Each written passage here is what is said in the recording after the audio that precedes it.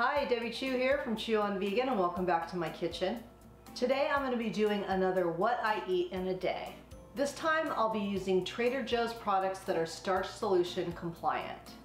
If that sounds like something you're interested in, stick around. If you're new to my channel, I'm a plant-based RN and I follow the starch solution. I've lost 15 pounds eating this way. The starch solution was written by Dr. John McDougall and I'll leave a link to his book in the description below so you can learn more about it. On my channel, you'll find quick and easy whole food plant-based recipes. I hope you consider subscribing to my channel today and make sure you hit that notification bell so you're notified every time I upload a video, which is every Tuesday and Saturday. You may also follow me on Instagram and Facebook at Chew on Vegan. So let's get started on this what I eat in a day Trader Joe's edition. I usually don't eat breakfast because I intermittent fast, which is a discussion for a whole other video, which I will do at some point. So it's about 1.30 and it's time for lunch. What I'm making today are hummus and sun-dried tomato pinwheels. I have another recipe for these on my channel, but this was before I was doing the starch solution, so they are not starch solution compliant. So I thought I would update this recipe so everyone can enjoy it. Let me know in the comments below if you'd like me to update other recipes I have on my channel and let me know which ones and I can certainly do that. I love these pinwheels because not only are they filling, but they're pretty and the colors are perfect for the holidays and you'll see that in just a minute. So let's get started. So we're gonna start off with an eight ounce container of the eggplant hummus from Trader Joe's, has no oil. So this is gonna go into our bowl. And I let it sit out for a bit so it gets soft. Easier to mix. To that we're gonna add some sun-dried tomatoes, which I've just chopped up. And they're just the Trader Joe's sun-dried tomatoes here. I've got a little bit of garlic, minced garlic, couple of cloves, and then I have a quarter cup of spinach. You can use frozen or you can use fresh. I just happen to have fresh. I lightly steamed it, wrung out some of the moisture and chopped it up. And then we're just gonna combine all these ingredients. We're gonna need two of these brown rice tortillas. Uh, these are also gluten-free, and if you have a problem with gluten, these are absolutely wonderful. So uh, let's pull these out. I like to put these in the microwave for about 15 seconds because that way they're a little bit more pliable. Gluten-free things are usually a little bit harder to work with. So we're gonna use a good portion of this. And you just wanna spread it out to the ends. And you can see the red and green, such pretty colors. And you wanna try to get it all the way to the edge so they'll stay closed. Then we have about 12 fresh basil leaves, also from Trader Joe's. I don't know if I showed you that. These are, these are organic. So we're gonna lay these out. And you wanna kind of press them down.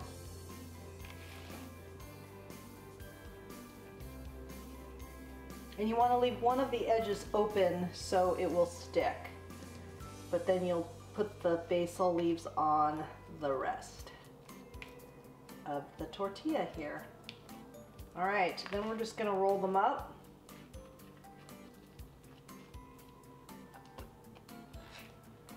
And you just wanna cut them with the serrated knife.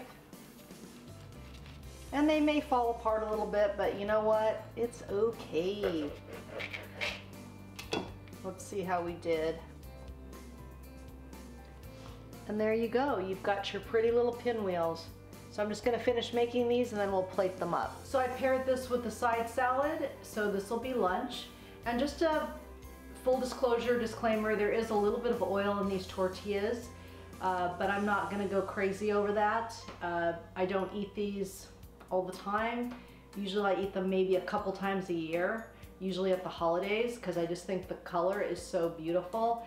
But if this is a trigger for you, don't eat it, okay? I mean, use corn tortillas with no oil, but for me, um, since I'm so close to my goal weight, I'm fine with eating a little bit of oil once or twice a year. So, but that's totally up to you. But um, this is definitely a delicious, beautiful, colorful dish. So I hope you give it a try. Tonight, dinner's gonna be super easy. It's going to be lentil and cauliflower tacos. I'm gonna be using Trader Joe's steamed lentils and then their uh, riced cauliflower. I'm gonna add some red onion, a little poblano pepper, and I'm gonna also use the Trader Joe taco seasoning. We're just gonna let that all cook together and put it in a corn tortilla, top it with some tomato, lettuce, and salsa, and uh, pair it with some veggies, and we will be done with dinner. So let's get started. I'm just gonna add the red onion and the poblano and let those saute for a little bit you're a little soft. Now we're gonna add in our lentils. Like I said, about a quarter of that package and about a cup or so of the cauliflower.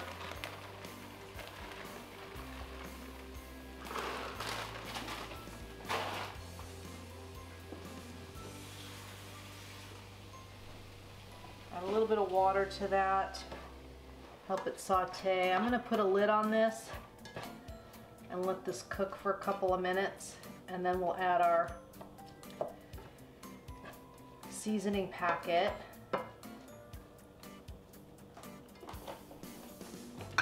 And by a couple of minutes, I mean like five minutes. Now I'm gonna add in a little bit of the taco seasoning. About that much. That will be spicy enough for me. So we're just gonna let this simmer for a few minutes and then we'll be ready. So here we are. I did a little bit of lettuce, tomato, and salsa, and some of my plant-based cheese sauce. And then I paired it with some broccoli and green beans and a little more cheese sauce. Very good, little well-balanced dinner. So let's give this a taste.